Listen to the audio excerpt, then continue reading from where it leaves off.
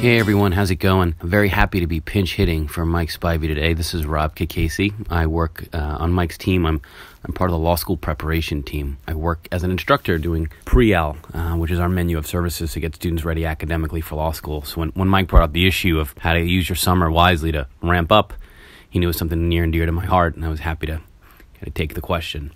So, as as many lawyers do, I thought about the problem kind of analytically, put into a few buckets, kind of areas to think about, and uh, I'll just kind of run through them, tick through some ideas. I think broadly we're talking about academic preparation, kind of careers prep, and then finally getting your kind of life ready for law school because it is this immersive experience. And I work in a, at a law school, and my students just finished their first semester of exams, and I'm struck by how much it's both a marathon and a sprint during that semester. So kind of getting life ready for law school's big too. We'll start with that academic bucket. I think it's the one most you want to hear about. I think it's the most fraught one, frankly.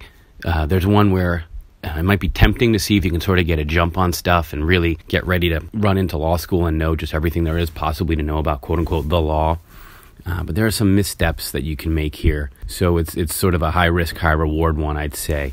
It's probably a good idea to get mentally prepared sort of for the academic grind of law school. The volume of reading is often a big challenge for students, the pace of it, um, the complexity of it also.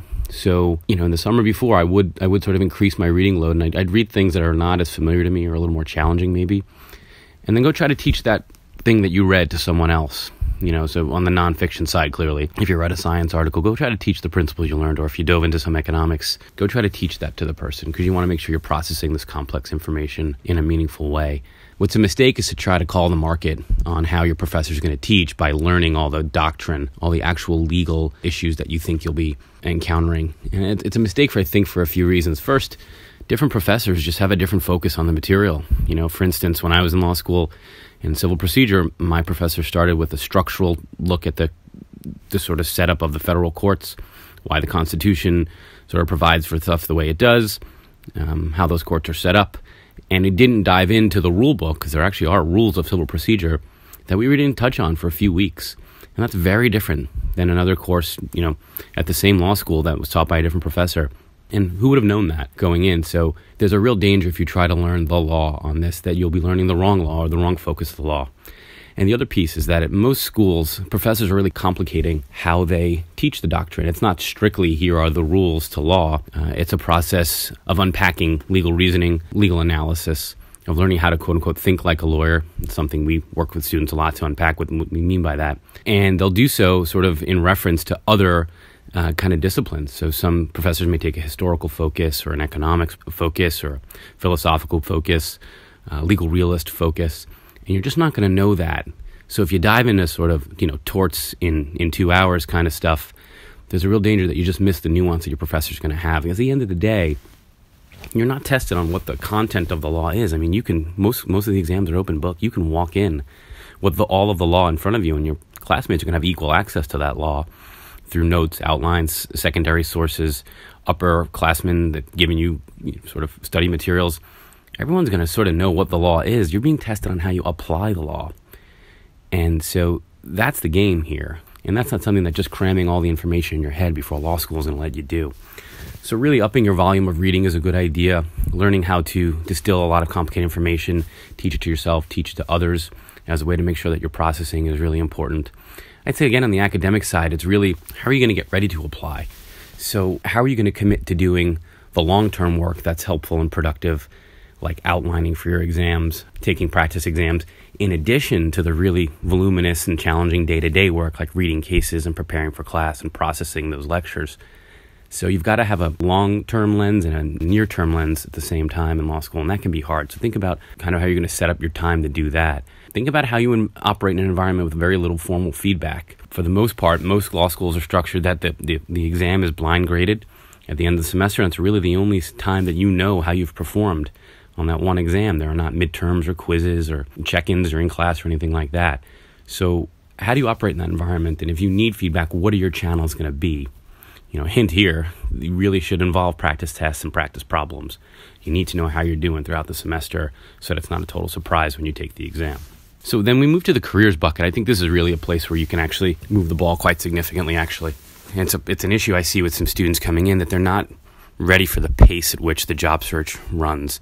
You know, we're not quite at the business school model where people come in really pretty sure about what they want or, or kind of ready to jump on the, the job search curve. But the market certainly seems to be moving faster and faster each year. It's especially true in the big law world, uh, at the large defense firms that do a heavy do the heaviest recruiting for law students. So in some cases, you're simultaneously doing 1L and 2L recruiting, which can be a real challenge and, and a bit of a surprise, as I said, to students. So what I would do uh, the summer before, this is something we work with too when we coach students on career prep at Spivey, is uh, really get to know practice areas. That's sort of the area of the law that a lawyer might practice in antitrust or energy or healthcare. Litigation is sort of a broader bucket. You might have different disciplines within that start to know those practice areas, um, what some of the issues are, what some of the realities of the jobs are. It's sort of the way that, that in, in the recruiting context, you, you divide up the world in a meaningful sense. Um, have a sense of where they're practiced, right? There might be a lot of energy work at firm X, but the truth is a lot of it's coming out of their Houston office and not, say, out of their Miami office because of just the way that the industries are structured. But if you can be become smarter about that, it's going to make your life a lot easier once you get to law school if you have a sense of what you want to practice and where. Um, I would also get comfortable talking to lawyers. It's a very network driven business, and that can mean a lot of things, right? It can mean going to a cocktail reception and making relationships, but it, it often means just sitting down one on one with a lawyer and really picking their brain about the course of their career and what they work on, how they got there, exit opportunities. It's a really important source of education for yourself about the legal industry, and it's a really great way to stand out in recruiting if you can develop an ally and an organization who's going to kind of watch for you as you go through the application process. So networking is going to be key. Become comfortable talking to lawyers before you get to law school. And then one more thing on the career sense. You know, some of you are, are, are gearing up for this search and are thinking about it already. I know the 1L summer position is at most law schools you know, around the country really a public interest summer for a variety of broader structural reasons in the, in the legal labor market. Um, so if you go in with blinders on that you're definitely going to be doing a 1L summer at a large firm, you might want to right size expectations. There are certainly jobs out there but um, if it's if you go for broke on that, you might miss some really great opportunities in the public interest where more of the jobs are coming from. So the final bucket uh, I would think about is just sort of getting ready for life. Uh, it's a big move often, and it's, it's as I said, this immersive experience, a sort of sprint uh, marathon hybrid. So clear the decks if you can before starting up in law school. You know, figure out what bank you're going to go to. Where's the grocery store? you know, how are you traveling within the city? Do you feel acclimated? Don't leave that to chance or to last minute so that you're starting to get prepped on that while the rest of your class is diving into cases. Do you have a routine regarding self care? Do you know how you're going to de stress? If you're a fitness buff, when are you going to find time for the gym? If you like to paint or dance or whatever it is, when are you going to find time for that and really commit to it? If you tr- treat law school like a bit of a job where you're working a certain set of time, you're finding your downtime, it usually is a lot easier to structure what is otherwise a very unstructured experience often. What's your strategy going to be to making new friends and joining groups? Is that going to be a priority? Is that going to take a little bit of a back seat? Uh, you know, varying schools of wisdom on this. It probably really depends on you and your goals here.